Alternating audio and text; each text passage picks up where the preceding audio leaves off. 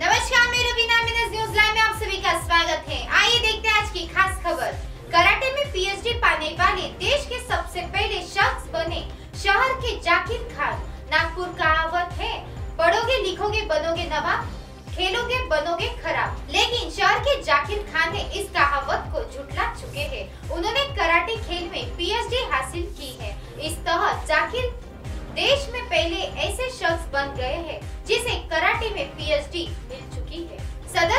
Anjuman college of engineering and technology के जाकिर खान को शनिवार को हुए 106वें दीक्षांत समारोह में कराटे में पीएचडी की पद्धति देकर सम्मानित किया गया।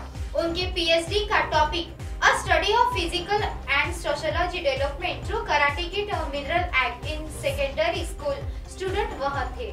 उन्होंने यह पीएचडी नागपुर यूनिवर्सिटी के सीनेट मेंबर व पीडब्ल्यूएस कॉलेज के प्रिंसिपल यशवंत पाटिल के गाइडेंस में पूरी की। दीक्षांत समारोह में यह पीएचडी केंद्रीय मंत्री नितिन गडकरी एच के सीएमडी शिव नानंद के हाथों vice chancellor doctor S V Kane pro vice chancellor Pramod Yeole और विभिन्न सकाइयों के डीनों की मौजूदगी में हुआ है। तो खबरों में आज के लिए इतना ही। एमएनएस न्यूज़ लाइव की खबर देखने के लिए एमएनएस हिंदी ऐप आज ही प्ले स्टोर से डाउनलोड करें और